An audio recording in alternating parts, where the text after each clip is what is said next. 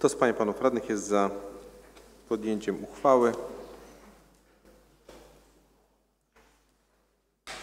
w sprawie zmiany wieloletniej prognozy finansowej miasta Piły na lata 2015-2024?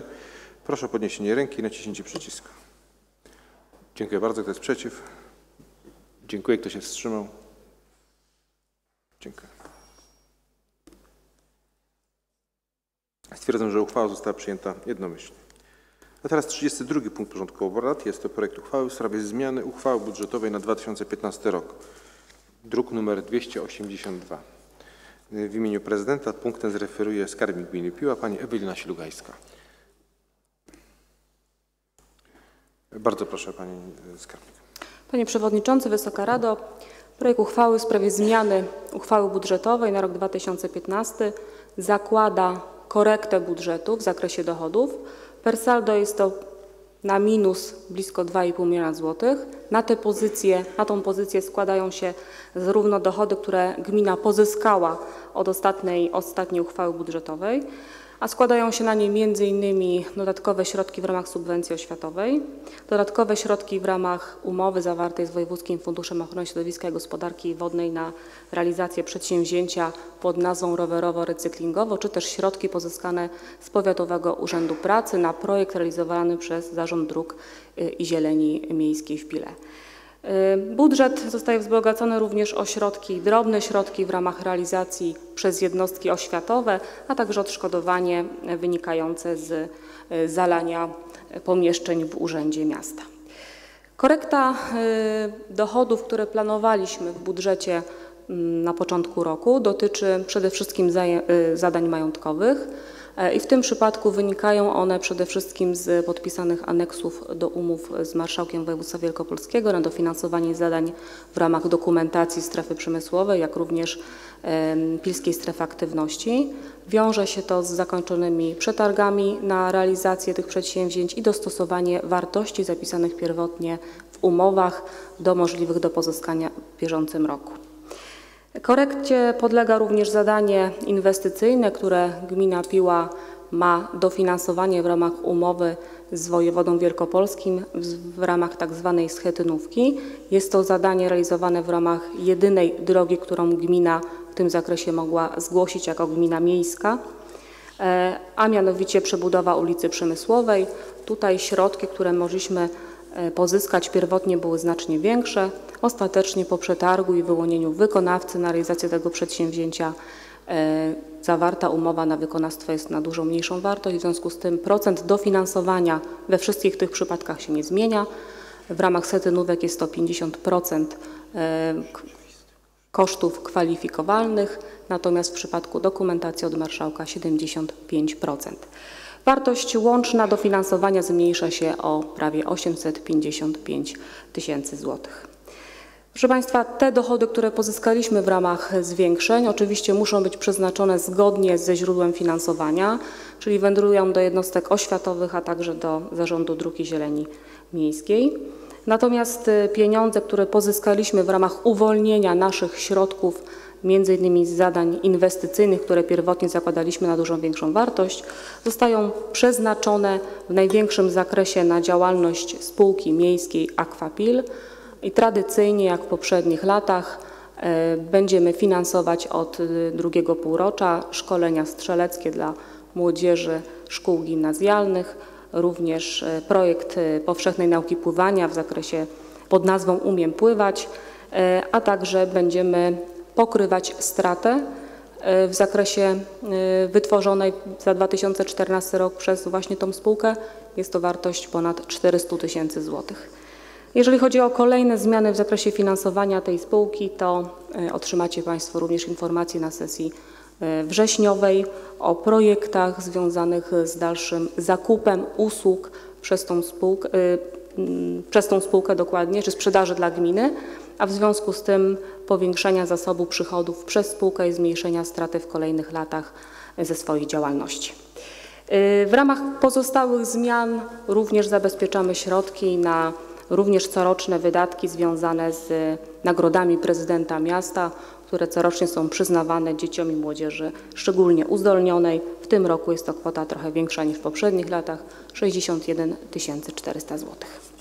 W zakresie wydatków majątkowych kilka nowych, e, innymi drobne nakłady na chodnik przy ulicy Żeromskiego, czy zadanie, które wprowadzamy w bieżącym roku, które będzie kontynuowane w kolejnych latach pod nazwą rewitalizacja obszarów poprzemysłowych i powojskowych, ale nakłady, które proponujemy 70 tysięcy złotych obejmują w tej chwili tylko i wyłącznie odszkodowania za przejęte grunty pod budowę e, dróg. Jest to początek. Myślę, że przy składaniu projektu budżetu i projektu WPF-u e, na kolejne lata będziemy to zadanie rozpisywać inwestycyjnie i z nakładami e, na kilka lat. Proszę Państwa, jest mało, małe zadanie, które również proponujemy wpisać w ramach tej zmiany. Zakup e, radiotelefonów wraz z dodatkowym wyposażeniem e, do ambulansu medycznego w PWSZ. Nakłady finansowe, które proponujemy to jest 10 tysięcy złotych. E, a także kontynuacja zadania, które zakończyło się w poprzednim roku, budowa markowego produktu Wielkopolski o niewielkich nakładach 10 tysięcy złotych, które rozpoczynają realizację czy kontynuację projektu związanego z budową dwóch przystani, które pozostały nam z poprzedniej dokumentacji. Jak Państwo pamiętacie, zakładano pięć, wybudowanych zostało w ramach dofinansowania trzy, dwie przy, uli, przy Walki Młodych i przy Mostach Królewskich czekają z e, realizacją. To jest początek zadania w ramach e, nowego programu i możliwości ewentualnego dofinansowania czy sięgnięcia po środki zewnętrzne na kontynuację. E, To jeżeli chodzi o te zmiany nowe.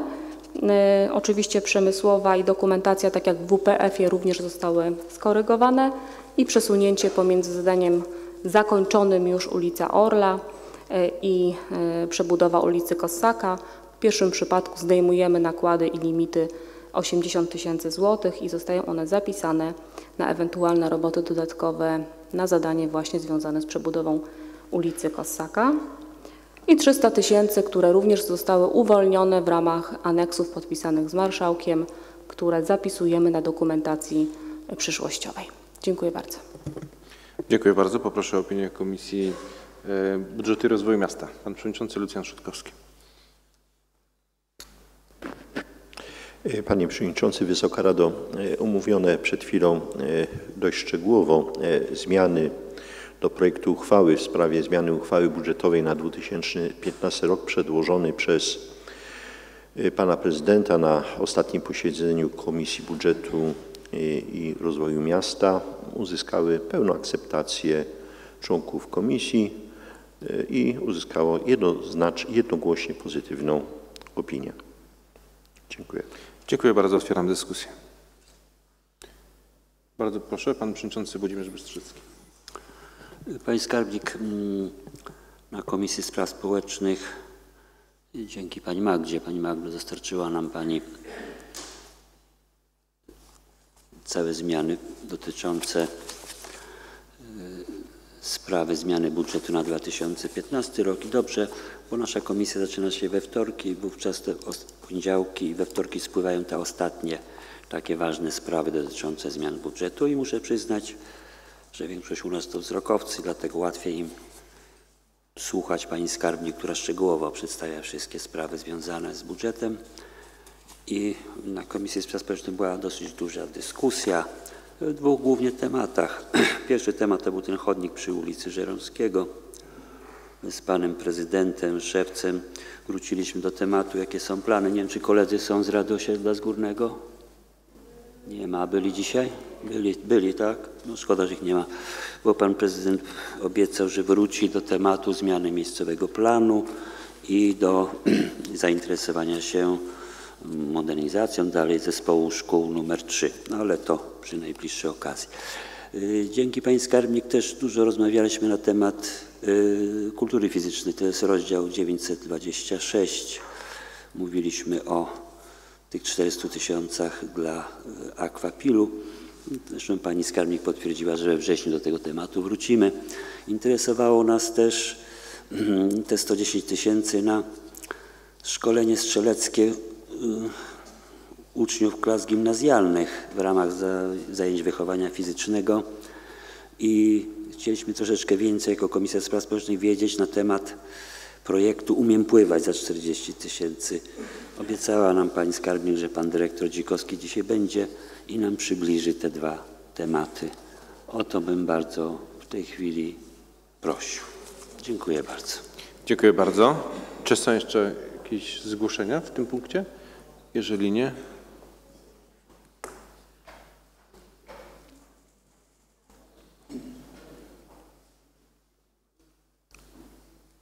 bardzo proszę, panie dyrektorze. Pan dyrektor Sebastian Dziekowski. Panie Przewodniczący, Wysoka Rado. E, Umiem pływać to jest projekt, który dotyczy uczniów klas trzecich szkoły podstawowej. Realizujemy go wspólnie z Związkiem Szkolnym z Poznania. E, Współfinansowany jest przez e, pieniądze ministerialne. Chyba trzeci rok z rzędu. Dotyczy um, uczniów klas trzecich, którzy jeżdżą raz w tygodniu na basen. Jest to tak coś w rodzaju wstępu do e, nauki pływania, którą realizujemy już w klasie czwartej od wielu lat. Natomiast jeśli chodzi o strzelectwo, również ten projekt realizujemy od dawna. Aktualnie uczniowie klas e, z gimnazjum nr 4, 5 i zespołu szkół nr 2 w ramach realizacji zajęć wychowania fizycznego odbywają na strzelnicy lekcje strzelectwa. Dziękuję. Dziękuję bardzo. Czy są dalsze zgłoszenia? Nie widzę, możemy przystąpić zatem do głosowania. Kto z pań i panów radnych jest za przyjęciem uchwały w sprawie zmiany uchwały budżetowej na 2015 rok? Proszę o podniesienie ręki i naciśnięcie przycisku. Dziękuję bardzo. Kto jest przeciw? Dziękuję. Kto się wstrzymał? Dziękuję. Stwierdzam, że uchwała została przyjęta jednomyślnie. Proszę Państwa, teraz 33 punkt porządku obrad. Jest to informacja z wykonania uchwały nr 29 przez 360 przez 08 Rady Miasta Pił z dnia 16 grudnia 2008 roku w sprawie określenia zasad prowadzenia gospodarki nieruchomościami w gminie Piła. Druk nr 280. Punkt ten w imieniu prezydenta zreferuje y, dyrektor Wydziału Gospodarki Nieruchomościami pani Julita Mudyn. Bardzo proszę. Panie Przewodniczący, Wysoka Rado, informacja przedstawiona obejmuje swym zakresem dane dotyczące wykonania uchwały z grudnia 2008 roku e, w zakresie określenia zasad prowadzenia gospodarki nieruchomościami w gminie Piła w pierwszym półroczu bieżącego roku. E, Zgodnie z tą e, uchwałą prezydent zobowiązany jest do przedstawiania Radzie Miasta Pił informacji z wykonania tej uchwały, a tą uchwałą upoważniony jest do wydzierżawiania, wynajmowania, oddawania w użytkowanie wieczyste, e, a także obciążania nieruchomości gminnych ograniczonymi prawami rzeczowymi. E, W pierwszym półroczu prezydent miasta Piły wydał 39 zarządzeń. Szczegółowy opis sposobu realizacji tych zarządzeń został przedstawiony w załączniku do informacji, a także zostały zawarte informacje związane z ustanawianiem ograniczonych praw rzeczowych, służebności e, gruntowych w związku ze zbyciem nieruchomości. Dziękuję. Dziękuję bardzo. Poproszę o opinię Komisji Gospodarki Miejskiej. Pan Przewodniczący Jacek Bogusławski. Proszę bardzo.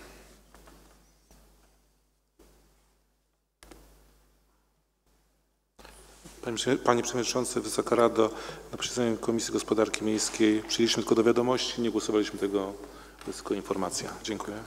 Dziękuję bardzo. Otwieram dyskusję. Nie widzę zgłoszeń. Zamykam dyskusję i możemy przystąpić do głosowania. E, pardon. Tego oczywiście nie głosujemy. Możemy przystąpić do 34 punktu e, porządku obrad. Jest to punkt informacja w sprawie interpelacji i zapytań radnych. Druk numer 202. Czy do tego punktu są zgłoszenia? Nie ma, więc w takim razie przystępujemy do punktu 35. Wolne głosy, wnioski i informacje. Bardzo proszę, kto z Pań i Panów Radnych? Pani Przewodnicząca Wiesława Sztaba. Proszę bardzo. Nie zdążyłam do poprzedniego punktu, więc pan pozwolił, że je połączę, dobrze? Bardzo proszę. I- Ja mam tu pismo, które, y, zresztą to były słowa interpelacyjne, a potem były pisma dotyczące sprawy państwa y, zamieszkujących po byłych zakładach graficznych.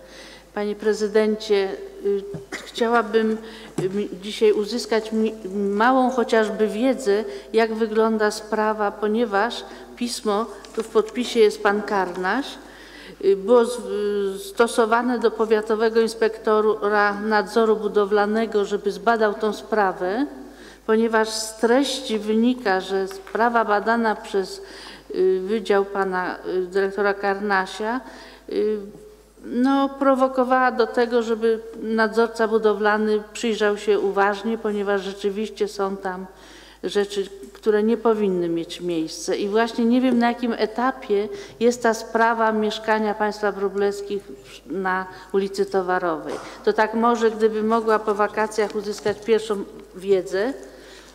Natomiast y, pytanie drugie zmierza do tego, no, z czego jestem bardzo zadowolona, ale y, nie wiem, czy to już jest procedowane, czy będzie w którymś momencie. Chodzi o sprawę mieszkańców ulicy Osiedlowej, a tu przy okazji wyniknęło, że również ulica Ludwisarska. Bo problem polegał na tym, że y, musieli tam likwidować ogrodzenia, różne rzeczy, ponieważ było to w pasie drogowym, a wcześniej mogli to użytkowywać. I teraz z tego rozumiem, że pan prezydent wyraził zgodę, bo jest tu opinia na piśmie, y, na prośbę mieszkańców, którzy prosili o zmianę miejscowego planu zagospodarowania przestrzennego i tego obszaru, zmianę po prostu na zabudowę mieszkaniową jednorodzinną y, i, i przeznaczenie tej drogi. I, I w zrozumieniu jest, że pan prezydent wyraził wolę, zgodę na dalsze procedowanie, czyli z tego wynika, że ja mam, panie prezydencie, to pismo, w razie czego mogę podać, że, że w razie czego y, tok będzie do przodu, nie? I teraz chciałabym wiedzieć, na jakim etapie jest dalej, żeby ci mieszkańcy y, mieli taką szansę, że y, otrzymają pozytywną wiedzę, czy to na zasadzie opłat, czy dzierżaw, czy czegoś, czy właśnie, żeby to zostało, bo ten kawałek obszaru, który zajmują przy ulicy Osiedlowej, jest przepięknie zagospodarowany przez tych mieszkańców. To jest ulica ślepa, y, nikomu nie wadząca, a zagospodarowanie terenu, ja już to wcześniej mówiłam, to jest po prostu bajkowe.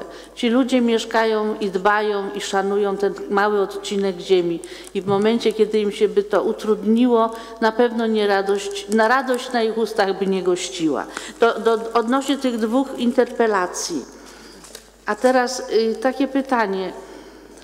No, z wielką satysfakcją przyjmuję y, obraz, który oglądałam, czyli y, podwórko Komuny Paryskiej, gdzie no, dzięki Pilskiej Spółdzielni Mieszkaniowej myślę, bo ty, ponieważ to jest teren pół na pół, gdzie miasto i Pilska Spółdzielnia Mieszkaniowa, jest plac zabaw pięknie zagospodarowany, już zrobiony, ale y, systemem spółdzielni ten typ, który się w różnych dzielnicach pojawia. Natomiast tam również jest y, no taki totalny jeszcze bałagan, bo tam jest y, taki niezagospodarowany y, dobrze plac do piłki siatkowej, plac do, do uprawiania innych, koszykówki. Jest droga od Komuny Paryskiej wjazdowa na podwórko, rozbebrana bez przerwy błotem, jeżeli opady są. Także ten teren Wygląda teraz w ten sposób. Mały, śliczny cukierek wśród bałaganu. Więc ja mam pytanie, jakie są plany dalsze, żeby ten teren został cudownie zagospodarowany kompleksowo? To ta jedna sprawa. Druga sprawa, mieszkańcy zwracają się do mnie i zresztą to była też interpelacja z poprzedniej, poprzedniej kadencji. Ulica Witos, y, przepraszam, ulica y, Wyżyska i ulica Kapucyńska. Łącznie z chodnikami. No, tragicznie wygląda. To jest po prostu y, teren do zrobienia, ponieważ no, chodnik, ulica, no to, to takie są kocie łby już niedługo i ludzie się tam przewracają, a dobrze by było, żeby ten odcinek również wszedł, wszedł w jakąś uwagę większą państwa. No i ja już na komisji zadawałam pytanie panu prezydentowi Szewcowi. Uzyskałam częściową odpowiedź. Myślę, że dobrze by było, żeby mieszkańcy z, pan, z pana ust również usłyszeli, kiedy rusza ulica Witosa, bo na to też czekają, bo ta Witosa już od 13 roku się produkuje, tylko nie może wyjść z, plan, z, planu, z planu. A ponoć w wakacje miała już ruszyć robota. Na razie widzę, że od ulicy Browarnej ruszył też było moje pytanie, ruszył budynek, y, którego kapitalnie remontują i przeprowadzają y, roboty ziemne również, co mnie satysfakcjonuje, bo ruszyła robota. Także myślę, że może to powoduje, że oczekujecie na to, że jedna rzecz się skończy, druga Witosa się zacznie, bo to jest jeden kompleks, tak. No to może to, no i oczywiście bardzo dziękuję publicznie za to, że no, po, po wielu, bo jeszcze w tamtej kadencji y, kilka osób, między innymi ja również, y, prosiła o uporządkowanie przy ulicy Rosfelta parkingów, żeby zrobione są zrobione, ale nikt nie dba o te kawałki y, pasów, gdzie są posiane trawy. No tam nie wiem, czy tam nie ma sprzątaczy, czy tam nie ma gospodarzy tych terenów, żeby to sprzątać, przycinać, bo parking jest piękny, chodnik jest piękny, a między tymi są pasy, jakby to tak miało zostać byle jak. Y, Albo może mieszkańcy powinni zadbać. No i y, że ogrodzone są profesjonalnie dwa potężne śmietniki przy dwóch dużych deskach przy Rosfelta. No to jest przepiękna rzecz zrobiona. Szkoła w tej chwili mm, ma takie kulturalne spojrzenie na ten kawałek y, miejsca, tylko rzeczywiście tam są żywopłoty częściowo już posadzone i dobrze by było, gdyby one rosły na wysokość oparkowania, to będzie w ogóle ładnie to dopracowane. To ja miałabym tylko tyle, za co również bardzo dziękuję.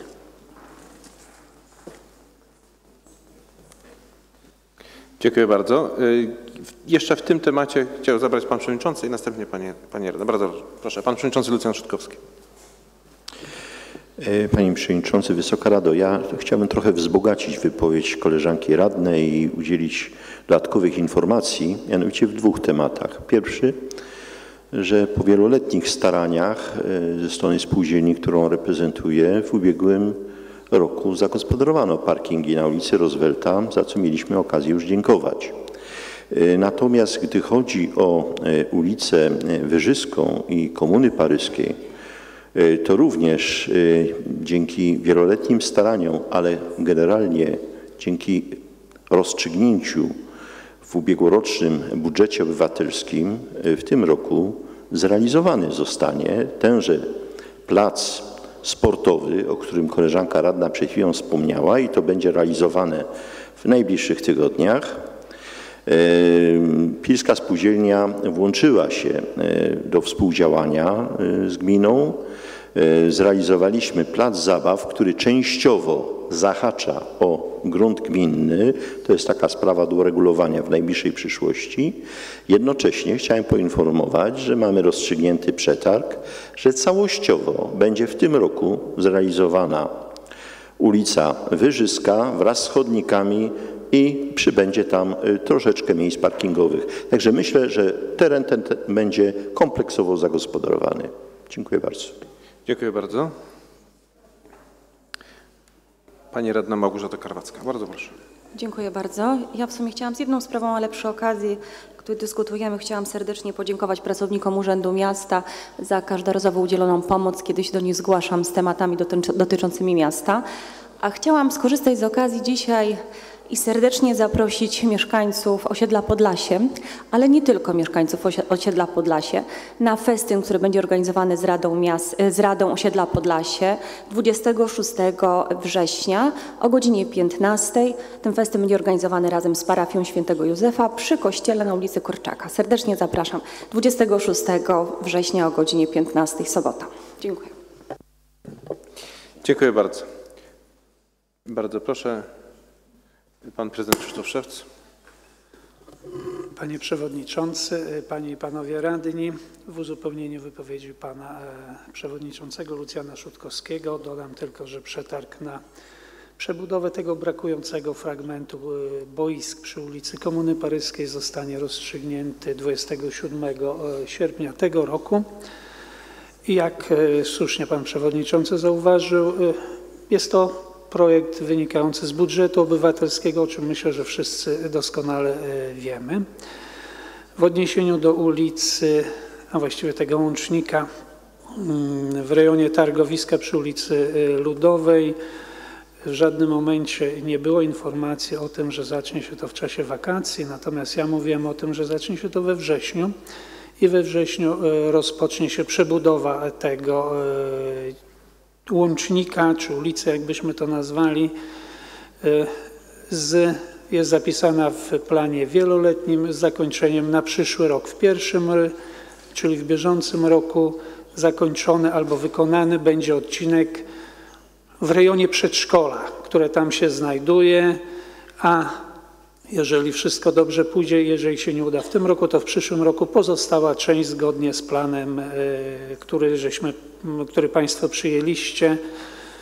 E, Zostanie to zakończone w przyszłym roku w odniesieniu do e, mieszkań przy, mieszkania czy budynku przy ulicy Towarowej. Nie potrafię Pani w tej chwili udzielić odpowiedzi, ponieważ nie pamiętam, jaka odpowiedź została udzielona. W momencie, gdy stosowny dokument wpłynie, e, udzielę Pani stosownej odpowiedzi zgodnie z tym, jaką udzieli nam Państwowy Inspektor Nadzoru Budowlanego. Dziękuję bardzo. Dziękuję bardzo. Proszę Państwa, yy, 12 sierpnia bieżącego roku do Urzędu Miasta Piły wpłynęło rozstrzygnięcie nadzorcze wojewody wielkopolskiego z 6 sierpnia 2015 roku orzekające nieważność paragrafu 3 ustęp 3 oraz paragrafu 4 ustęp 2 punkt 5 we fragmencie PESEL uchwały nr 9 przez 119 przez 2015 Rady Miasta Piły z dnia 30 czerwca 2015 roku w sprawie zasad i trybu przeprowadzania konsultacji społecznych na terenie miasta Piły. Radni otrzymali drogą elektroniczną opinię radcy prawnego e, w tej sprawie. I teraz w związku z tym poproszę panią dyrektor Teresę Jakubowską, za- zastępcę dyrektora Wydziału Rozwoju i Funduszy Europejskich o przybliżenie tematyki i zasugerowanie dalszego postępowania.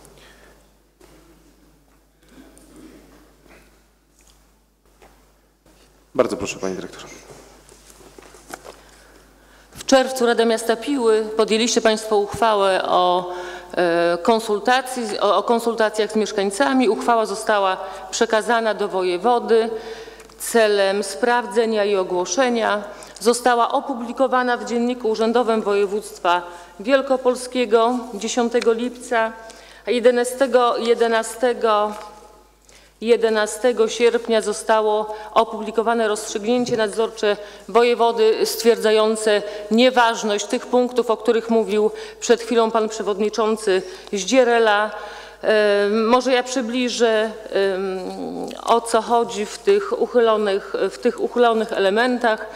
W paragrafie 3 ustęp 3 e, wojewoda podnosi zarzut, że Rada wykracza poza swoje kompetencje, określając organowi wykonawczemu, czyli prezydentowi miasta Piły, e, jak ma, e, jak ma wyglądać zarządzenie prezydenta miasta Piły. To powinno być pozostawione organowi wykonawczemu, natomiast w punkcie 2 paragrafu 4 ustęp, ustęp, w ustępie 2 e, w związku z tym, że PESEL jest daną wrażliwą, a nie służy ustaleniu miejsca zamieszkania, wojewoda unieważnia e, ten zapis, czyli pr- usuwa wyraz PESEL, a chodzi o umieszczenie PESEL-u czy wymagania PESEL-u we wniosku mieszkańców do Rady Miasta Piły o przeprowadzenie konsultacji.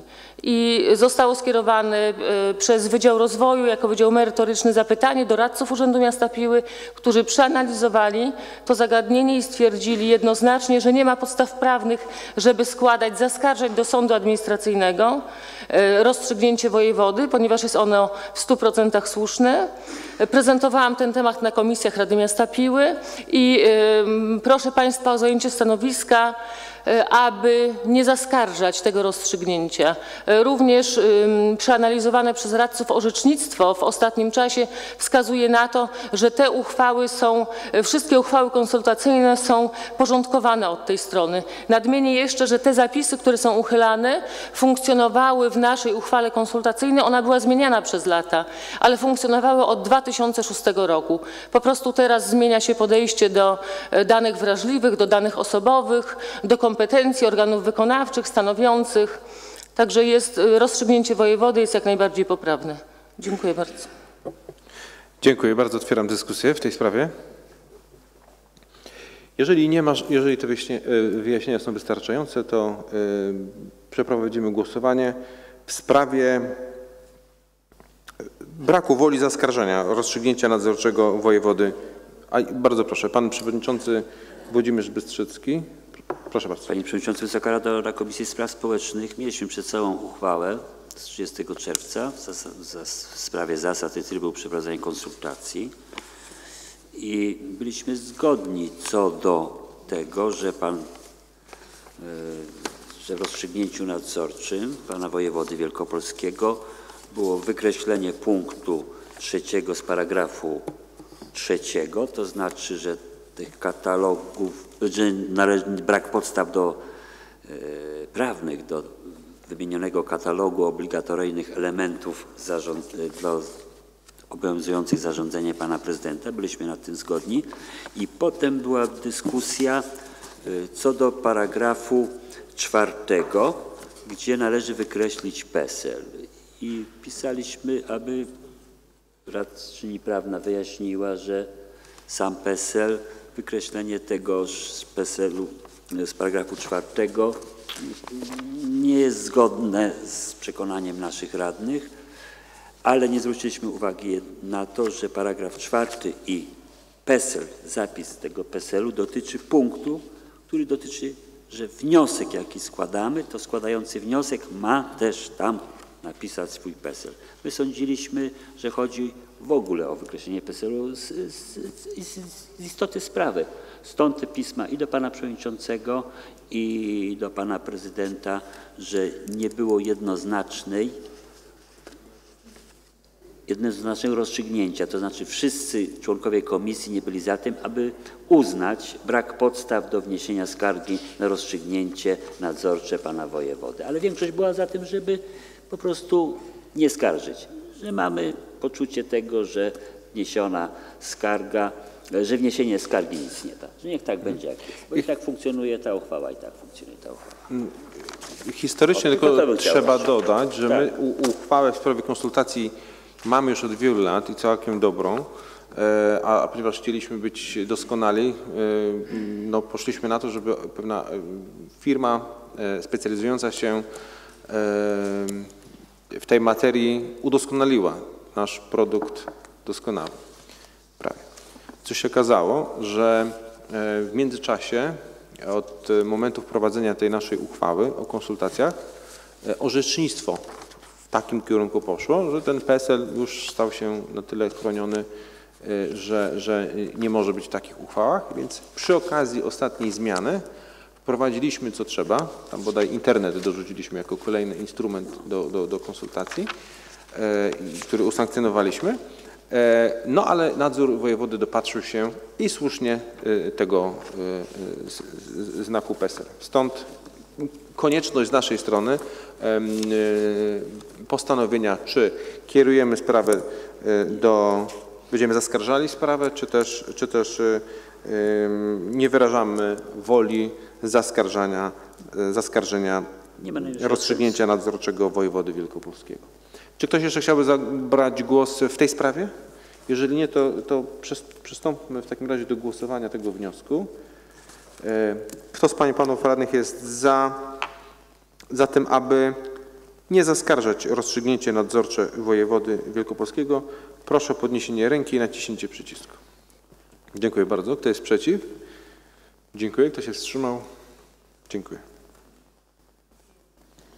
Stwierdzam, że jednoznacznie po- postanowiliśmy e, na tym sprawę pozostawić. Czy w sprawach różnych są jeszcze, bardzo proszę, Pani Przewodnicząca e, Teresa Kasior. Tylko sekundkę, bardzo proszę, bo tutaj coś tu się... Ładny obrazek. To, to jakieś... O, proszę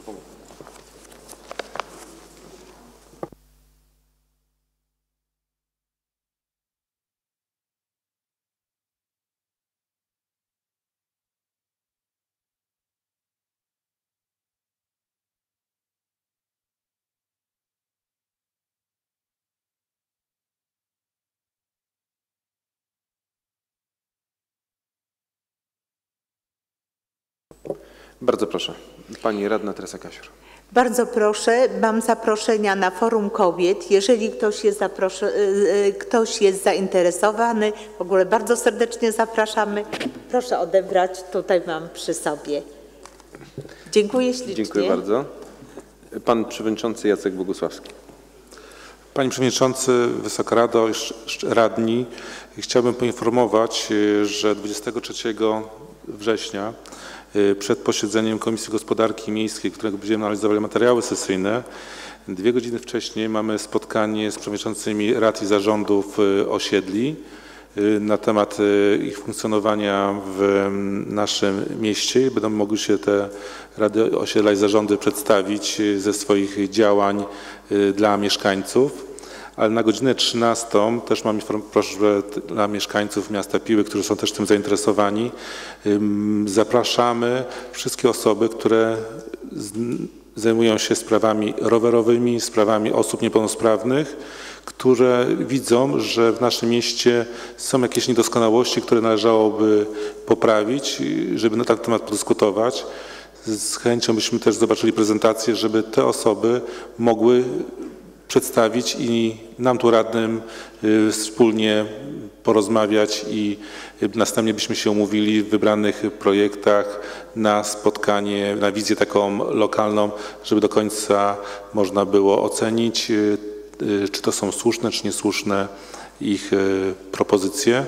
Dlatego przypominam, 23 września o godzinie 12 mamy spotkanie Komisji Gospodarki Miejskiej z przewodniczącymi i zarządami rad osiedli. Na godzinę 13 następnie z osobami, które zajmują się sprawami rowerowymi w naszym mieście. O godzinie 14. W 23 o godzinie 12 spo- spotkanie w Urzędzie Miasta, sala 229b z przewo- z przewodniczącymi rad i zarządów osiedli, a na godzinę 13 też w tej samej sali 229b spotkanie z przedstawicielami osób, które zajmują się sprawami rowerowymi w naszym mieście oraz y, niepełnosprawnymi. Osób, które zajmują się sprawami osób niepełnosprawnych. Dziękuję. Dziękuję bardzo. Bardzo proszę teraz pan radny Błażej Parda. Proszę bardzo. Szanowni Państwo, to w szczególności apel do telewidzów. Chciałbym przypomnieć wszystkim, że 6 września, za niecałe dwa tygodnie w niedzielę, odbędzie się referendum. Ostatnie referendum było 12 lat temu ponad. E, Będziemy głosować od godziny 6 do godziny 22. Pierwsze pytanie dotyczy jednomandatowych okręgów wyborczych, drugie pytanie dotyczy finansowania partii politycznych, a trzecie dotyczy rozstrzegania wątpliwości co do prawa podatkowego. Więc e, zapraszam wszystkich serdecznie. Przypomnę, 6 września, niedziela od 6 do 22. Jeśli ktoś by nie był w temacie, a chciałby się dowiedzieć czegoś więcej, to również zapraszam do kontaktu bezpośrednio do mnie na stronie Urzędu Miasta w BIP-ie. Jest i numer telefonu, i mail, e, więc e, zapraszam na referendum. Dziękuję bardzo za ten głos. Dziękuję bardzo serdecznie. Proszę Państwa, o głos prosił jeszcze Pan Prezes e, Andrzej e, Gabrielów. Bardzo proszę Panie Prezesie.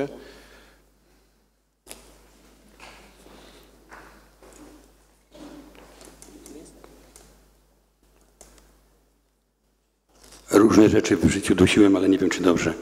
E, Proszę Państwa, Panie Przewodniczący, Wysoka Rado, jest mi niezmiernie miło zakomunikować, że od dnia 1 września spółka Tarpil razem ze Spółdzielnią Socjalną Nowe Horyzonty będzie realizowała dowóz towaru do domu na telefon. E, Ten telefon to nie wiem, czy widać. 66666 7774. Mam nadzieję, że to będzie wyjście e, naprzeciw potrzebom mieszkańców naszego pięknego miasta i uzupełnienie naszej oferty handlowej. Dziękuję bardzo. Dziękuję bardzo i gratuluję pomysłu. Dziękuję serdecznie. Czy są inne zgłoszenia w tym punkcie? Jeżeli nie, to proszę Państwa, w związku z wyczerpaniem porządku obrad zamykam obrady dziesiątej sesji Rady. A jednak nie, przepraszam bardzo, Pani Przewodnicząca się zreflektowała. Proszę bardzo, pani przewodnicząca Wiesława Sztab. Gdyby pan pamiętał, to bym się nie zreflektowała. Panie przewodniczący, kończą Ja się tu wakacje. mam, system działa, jest bezlitosny, nie No. było zgłoszenia. Kończą się wakacje, więc myślałam, że nie będę musiała tego mówić. No. Rozpoczyna się rok szkolny, wobec tego szczęśliwie wracajcie dzieciaki z wakacji i szczęśliwie zaczynajcie nowy rok szkolny wraz ze swoimi nauczycielami od 1 września. Dziękuję bardzo. Tego życzą radni. Tak jest, przyłączamy się do życzeń. Szczęśliwego powrotu życzymy także nauczycielom. Proszę Państwa, a tym samym zamykam obrady 10 sesji Rady Miasta Piły. Dziękuję serdecznie.